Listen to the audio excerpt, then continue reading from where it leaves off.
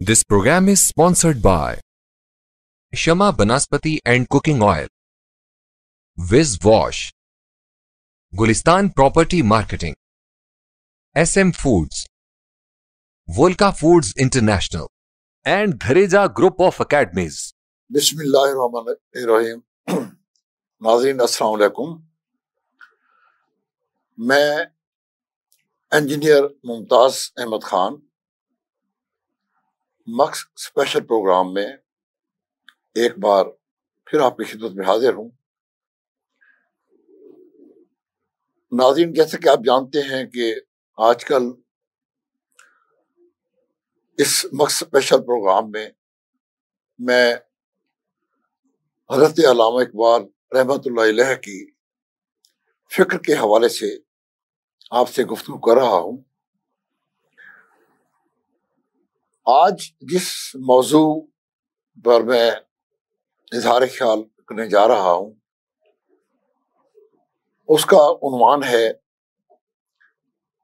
हज़रत अलामा इकबाल रहमत और फ़िक्र गुलामी, फलसफा गुलामी के ये जो गुलामी है, इसके मतलब हज़रत अलामा इकबाल रहमत की फ़िक्र या उनका फलसफा क्या है? तो इस गुफ्तु के भी दो हिस्से हैं। पहले हिस्से में मैं आपकी खिदमत में अर्ज़ करूँगा कि गुलामी क्या है? गुलामी किसे कहते हैं? और फिर इस गुफ्तगु के दूसरे हिस्सा में मैं ये अर्ज़ करूँगा कि इस गुलामी के मुतलिक हज़रत अलामा इकबाल की फ़िक्र क्या है, उनका फलसफा क्या है? नाजरीन, अलामा इकबाल रहमत उनकी एक मशहूर जमाना नज्म है।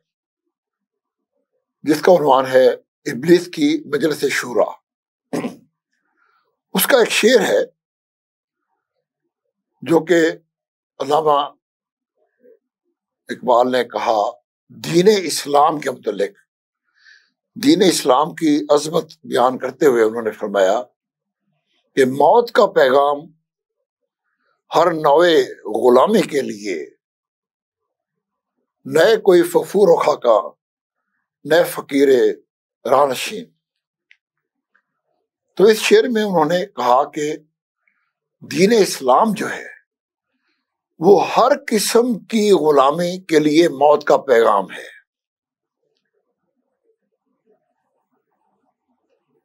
अब जब तक हम पर ये वाजे ना हो कि गुलामी किसका नाम है,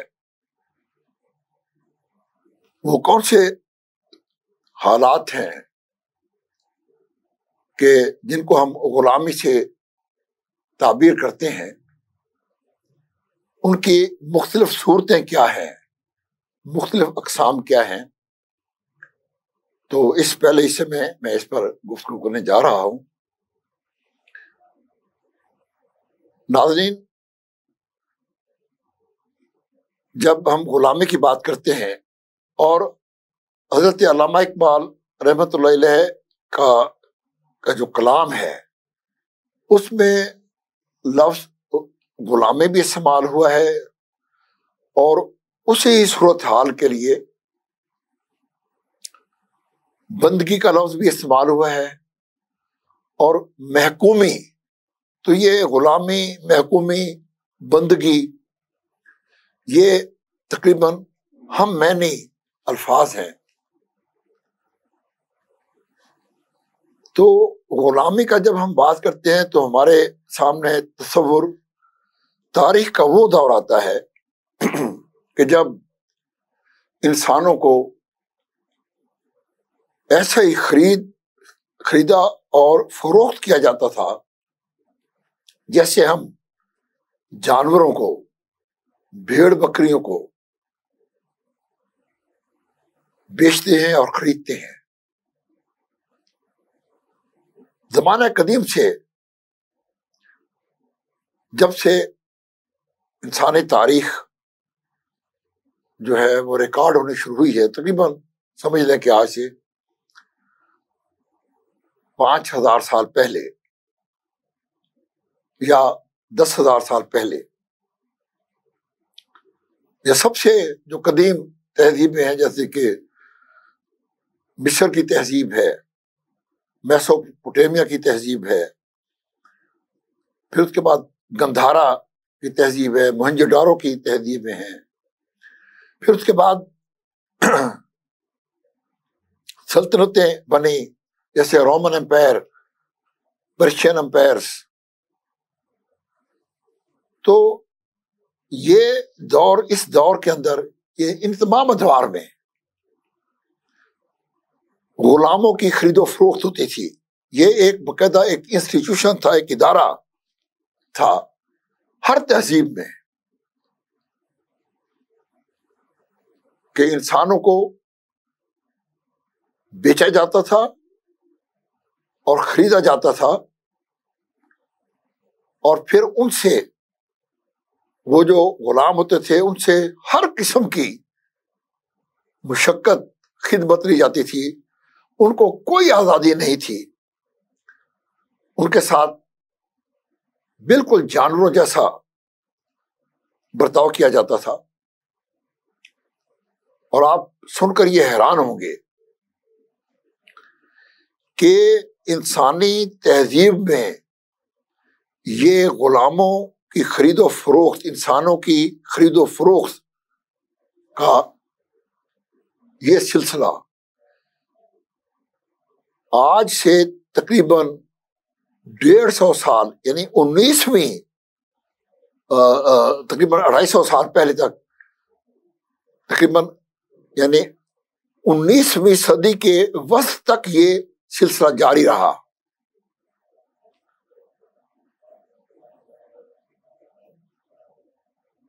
अमेरिका में, अमेरिका की जो 1860 में जो सिविल वार हुई, वो भी इसी गुलामी के का जो इशू था, गुलामों का जो इशू था, इसी पर हुई। कि सौदर्न जो स्टेट थी, वो चाहते थे कि इस गुलामी, गुलामों की खरीदो फरोख्त के जो सिस्टम है, इसको बरकरार रखा जाए, जबकि नॉर्दर्न स्टेट उसके खिलाफ थे, उस पर सिविल वार हुई। है, लेकिन आखिरकार अमेरिका में सन अठारह में ये जो इंसानों की खरीदो फरोख्त का जो सिलसिला है, ये बकायदा इसके खिलाफ कानून बनाया गया और बरतानिया में उससे कुछ पहले, तकरीबन तीस साल पहले 1832 में इंसानों की खरीदो फरोख्त का जो है कानून मंजूर हुआ। चुनाचे ये इंसानियत की तजलील की वो कहानी है, वो हिस्ट्री है, जिस पर इंसानी तारीख हमेशा शर्मसार रहेगी कि इंसानों को जानवरों की तरह खरीदा और बेचा जाता था और उनसे जानवरों की तरह उनसे खिदमात दी जाती थी। तो एक तो गुलामी की ये सूरत हमारी इंसानी तारीख में रही है।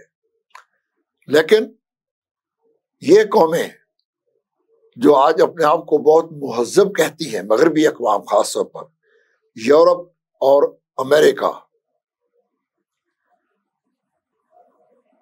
उसके बाद जब यहाँ इन अकवाम को में सनती तरक्की हुई, सियासी तरक्की हुई तो इन्होंने अगरचे इंसानों की खरीदो फरोख्त, जानवरों की तरह उनकी खरीदो फरोख्त के उस सिस्टम को तो खत्म किया।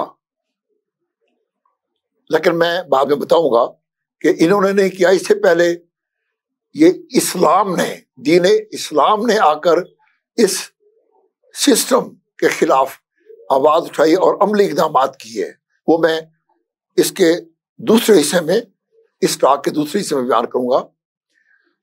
लेकिन जो इस वक्त मैं कर रहा हूँ, जो आज की बजों में खुद जो बहुत महजब अकवाम कहलाती हैं आपको, यूरोप और अमेरिका की अकवाम, इन्होंने इंसानों को गुलाम बनाने का एक और तरीका निकाला और वो था नौ आबादियाती निज़ाम। चुनाचे जैसे यूरोप की अकवाम ने सनती तरक्की की और टेक्नोलॉजी की तरक्की हुई, और इन्होंने असला तोपें और बंदूकें बनाने शुरू की तो इन्होंने दूसरी अकवाम पर एशिया अफ्रीका और खुद जो अमेरिका है उस वक्त क्योंकि ये आ, उस वक्त मालूम नहीं था अमेरिका की जो वजूद है। चुनाचे इन्होंने जब बहरी जो है आ, सफ़र किए और नई नई मुल्क और लैंड रास्ते इन्होंने तलाश किए तो उसके बाद इन्होंने अपनी सन्नती तरक्की और असलहे के ज़ोर पर इन्होंने दूसरी अकवाम को गुलामी जो है अपनी सियासी गुलामी में जकड़ लिया। और आप जानते हैं कि हमारा, हमें ये बड़े सगीर इस पर भी अंग्रेज़ों ने तकरीबन डेढ़ सौ साल हमें महकूम रखा, हमें गुलाम रखा, हम पर हुकूमत की। खुद अमेरिका पर बरतान, ये यूरोपियन जो अकवाम थी, उन्होंने नौ आबादियाँ कॉलोनीज कैम की और अमेरिका पर भी कब्जा किया। इससे ऑस्ट्रेलिया, न्यूजीलैंड जो फार ईस्ट है, उसके और अफ्रीका के बेशुमार ममालिक पर उनकी जो कुदरती वसाइल है, उन पर कब्जा करने के लिए इन्होंने नौ आबादियाती निज़ाम कायम किया और सदियों तक, तकरीबन पंद्रहवीं सदी ईस्वी से लेकर इक्कीसवीं सदी तक पाँच छह सौ साल इंसानी तारीख इस नौबाती निज़ाम की जो है वो आ, उसका रिकॉर्ड है बयान करती है कि मुख्तलिफ़ अकवाम दर्जनों अकवाम दर्जनों ममालिक जो हैं एक कहा जाता है कि एक वक्त था कि जब बरतानिया की जो सल्तनत में सूरज भी नहीं ग्रूब होता था Canada America Australia New Zealand India और बेशुमार अफ्रीका के बेशुमार ममालिक में बरतानिया ने, फ्रांस ने, जर्मनी ने, इटली ने वलंदेजियों ने, फ्रांसीसियों ने अपनी नौ आबादियाँ कैम की और कौमों को जबरन महकूम किया और उनके वसाइल को जो है वो अपनी तरक्की के लिए और दुनिया पर अपनी हाकमियत कायम करने के लिए उन्होंने उसको इस्तेमाल किया। तो ये पाँच छह सौ साल की ये जो आबाद, आबादियती जो निज़ाम है, ये इंसानी गुलामी या महकूमी की जो है एक दूसरी किस्म है, जो कि अब तारीख का हिस्सा है। फिर उसके बाद ये हुआ कि ये नौ आबादती निज़ाम भी ख़त्म हुआ इंसानी तहजीब आगे बढ़ी। तो मगरबी अकवाम ने और जो भी नौ आबादियाती कौमें थी, कॉलोनियल जो स्टेट थी, बड़ी बड़ी। सैकड़ों साल तक दूसरी कौमों को गुलाम और महकूम रखने की वजह से उसका नतीजा ये हुआ कि उन अकवाम में फिक्री गुलामी, फिक्री और तहजीबी गुलामी जो है, उसने वो सिस्टम जो है, वो राइज हुआ। क्योंकि वो महकूम कौमें थी, मगरबी अकवाम जो थी, वो फौजी लिहाज से और मीशी लिहाज से और फिर क्योंकि वो काबिज थी, उनकी हुकूमतें थी तो लाजमी बात है। उसका नतीजा ये हुआ कि जो वो महकूम अकवाम थी, उन्होंने उन नजरियात को और उन वैल्यूज़ को जो कि उनके हाकमों की थी, वो उन हाकमों ने बकायदा एक प्लानिंग के तहत अपने महकूम जो आबादियाँ थी, जो कौमें थी, उनमें अपने नजरियात, अपनी फ़िक्र, अपनी वैल्यूज़, अपनी ज़ुबान, अपनी सियासत, अपनी मीशत उन्होंने राइज की। और आज हम देख रहे हैं कि दुनिया की अक्सर जो अकवाम है, वो उस नौ आबादियाती निज़ाम की महकूमी की वजह से आज नजरियाती तौर पर, अगरचे वो आबादियाती जो निज़ाम है, वो तो ख़त्म हो गया है। यानी उनकी जो बरह रास्त, जो हुक्मरानी थी, कॉलोनियल स्टेट्स की, वो तो ख़त्म हो गई। लेकिन नियो कॉलोनियलिज्म जिसे नियो कॉलोनियलिज्म कहा जाता है, उसके सूरत में वो जो महकूम अकवाम थी, वो इन मगरबी अकवाम की फिक्री तौर पर और तहजीबी तौर पर और माशरती तौर पर महकूम हो गई। और आज हम देख रहे हैं कि हमारे बर सगीर में हम अपने जब मुल्क पाकिस्तान की बात करते हैं तो आज आप देख रहे हैं कि हम, हमारा माशरा किस हद तक मगरबी वैल्यूज़ जो है, उनका महकूम है। हमारी सोच, हमारा सियासी निज़ाम, आप देखें, हमारा जो सियासी निज़ाम है, वो वही है जो कि बरतानिया ने, अंग्रेज़ ने यहाँ छोड़ा। हम आज तक उसी पार्लिमानी निज़ाम को लेकर चल रहे हैं। हम उसको अपने दीन इस्लाम का जो खिलाफत का जो निज़ाम था, हम उसमें नहीं ढाल सके। हमारी मीशत जो है, वो हुई है, जो कि अंग्रेज़ की मीशत थी। वही सूदी निज़ाम है, वही बैंकिंग सिस्टम है, जो कि अंग्रेज़ ने यहाँ कायम किया था। वही चल रहा है। हमारा जो हमारी जो वैल्यूज़ है, हमारी तहजीब जो है, आप देखें कि हम इस हद तक जहनी गुलाम हो चुके हैं कि हम अंग्रेज़ी में बात करना जो है, अंग्रेज़ी बोलने में फख्र महसूस करते हैं। हम अपना लिबास भूल चुके हैं। हम पैंट कोट नेक टाई आज मैं आप देखें, मैं, मैंने भी पैंट और जो शर्ट है, ये ये पहनी हुई है। ये भी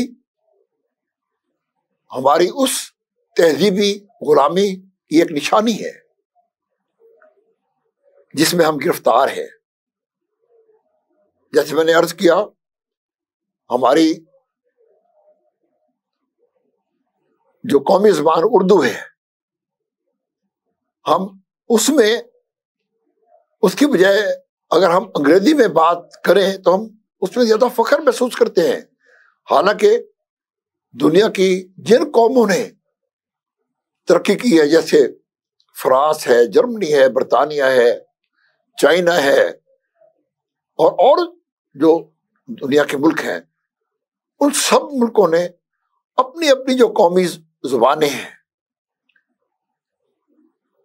उनको अपने करिकुलम का, अपने तालीम का मीडियम बनाया है और उन्होंने तरक्की की है। लेकिन हमारी जहनी गुलामी का ये एक बयान, एक मुजाहरा है कि हम, हमने आज भी अपने तालीम का जो मीडियम है, वो अंग्रेज़ी ज़ुबान प्राइवेट स्कूलों में, अंग्रेज़ी अंग्रेज़ी इंग्लिश मीडियम ऑफ़ इंस्ट्रक्शन है हमारे यहाँ बुनियादी इंसानी हकूक जो है और सियासी हकूक है इनका भी बिल्कुल वही तस्वर हमने अपनाया हुआ है, फिक्री तौर पर, जो कि हमें मगरब से मिला है। हमारी जो और जो मीशत है उसके जो और पहलू हैं, वो भी सब वही है जो कि अंग्रेज़ ने यहाँ अपनी लेगेसी छोड़ी। और फिर आप ये देखें कि हमारे जो इदारे हैं, चाहे हमारे, हमारी फौज है, चाहे वो हमारी मुकन्ना है, चाहे वो हमारी अदलिया है या चाहे और इदारे हैं वो सब के सब वही इदारे हैं। हमारी ब्यूरोक्रेसी है। हमारी ब्यूरोक्रेसी का जो तर्ज अमल है उसके जो कवायद हैं जो कानून है आज भी वही हम पचहत्तर साल हो गए हैं हमें आज़ाद हुए हुए। लेकिन हम अपना निज़ाम ना हम अपना निज़ाम सियासत कैम कर, कर सके हैं ना निज़ाम मीशत ना निज़ाम तालीम, ना निज़ाम अदलिया, ना मुकन्ना यानी वही इदारे जो कि अंग्रेज़ ने कैम किए थे। हम उन्हीं पर चले हैं और ये सिर्फ़ पाकिस्तान में नहीं, बल्कि और भी दुनिया की बहुत सारी जो कौमें हैं, उन्होंने, लेकिन जिन कौमों को सियासी क्यादत एक बाशूर सियासी क्यादत मुयसर आ गई। उन्होंने अब मतलब चाइना है। चाइना के ऊपर भी, इन मगरबी अकवाम की जो है हुकूमत रही है, उनकी हुक्मरानी रही है। लेकिन जैसे ही चाइना आज़ाद हुआ, और हम, हमसे दो साल बाद आज़ाद हुआ, वहाँ उन्हें ऐसी क्यादत मुयसर आई कि जिन्होंने वहाँ की माशरत को, वहाँ की सियासत को, वहाँ की तहजीब को, वहाँ की जो वैल्यूज़ हैं, अपनी वैल्यूज़ को उन्होंने जो है वो रिवाइव किया। और आज देखें कि चाइना कितनी तरक्की कर चुका है, कहाँ पहुँच गया है। और भी कौमें हैं। इंडिया हमारे साथ आज़ाद हुआ था। ये ठीक है। कि इंडिया में भी अभी इदारे वही हैं, जो कि अंग्रेज़ ने कैम किए, लेकिन उन्होंने फिर भी क्योंकि इंडिया को एक बाशूर और मिच्योर्ड क्यादत मैसर आ गई तो उन्होंने अपनी तहजीब, अपने कल्चर, अपनी वैल्यूज़ को जो है, उन्होंने दोबारा रिवाइव किया है, बहुत हद तक रिवाइव किया है, और वो तरक्की कर रहे हैं। लेकिन बहुत सी अकवाम ऐसी हैं, जिनमें पाकिस्तान भी शामिल है, जहाँ ये ये फिक्री और दैनी गुलामी जो है, मगरब की, वो अभी तक कैम है। और जिसकी वजह ये है कि गुजशत पचहत्तर साल में हमें वो सियासी क्यादत मैसर नहीं आई, जो कि कौम बहसीत एक मुसलमान, कौम के बहसीत एक मुसलमान मुल्क के, हम पूरी तरह अपना वो वादा पूरा करते हैं कि जब पाकिस्तान का मतलब क्या ला इलाहा इल्लल्लाह, हम अपने आप को इस जहनी गुलामी से, इस फिक्री गुलामी से और एक मगरब की इस तहजीबी गुलामी से हम सियासी गुलामी से तो आज़ाद हो गए। लेकिन जो फिक्री गुलामी है, वो अभी तक कैम है। नाजीन ये तो वो तीसरी शक्ल थी, जो कि मैंने बयान की कि नौ आबादियाँ थी कॉलोनियल कॉलोनियल जो निज़ाम था, उसके नतीजे के तौर पर ये फिक्री गुलामी जो है, वो हम उसमें गिरफ़्तार हुए और आज तक गिरफ़्तार चले आ रहे हैं। गुलामी की फिक्री गुलामी की एक और शक्ल है। और वो वो शक्ल है जो कि हमने खुद जिस महकूमी या गुलामी को हमने खुद अपने कज फिक्री से अपने आप को उसमें मुबतला किया है। और वो फ़िक्र गुलाम ये है कि अगरचे दीन इस्लाम तो ये कहते हैं कि बंदगी जो है, वो सिर्फ़ और सिर्फ़ अल्लाह ताला के लिए है। इंसान जो है, वो आज़ाद पैदा हुआ है। अल्लाह ताला ने उसको सोचने, समझने की सलाहियत दी है, उसको शूर दिया है। अच्छे बुरे की राह बताई है कि ये अच्छा है, ये बुरा है। और फिर इंसान को इख्तियार दिया है कि वो अपने अक्ल, अपने शूर से अपना रास्ता, सही रास्ता उसका तयन करे। अपनी अकल और शूर को इस्तेमाल करे। लेकिन हमने क्या किया है? हमने अपने आप को शौरी तौर पर, और ये मैं बात कर रहा हूँ, इस हवाले से जो हमारे यहाँ एक इंस्टीट्यूशन है पीरी मुरीदी का, और फिर वारियत का। हमने अपने आप को चाहिए तो ये था कि हम अपने दीन के मामलों में बर रास्त कुरान पाक से और हजूर पाक सल्लल्लाहु अलैहि वसल्लम, उनकी जो सीरत है, उनका जो उसवा है, उससे हम रहनुमाई और रोशनी हासिल करते हैं। लेकिन हम भटक गए।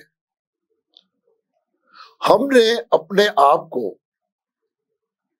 उन उन फिक्री जो थे, मसलक, अगरचे हमारे, जिन बुज़ुर्गों ने ये मसलक दिए, अगरचे वो मसलक, उन्होंने तो नेक नियति के साथ दिए। लेकिन हमने अपने आप को जहनी तौर पर उनका गुलाम बना लिया।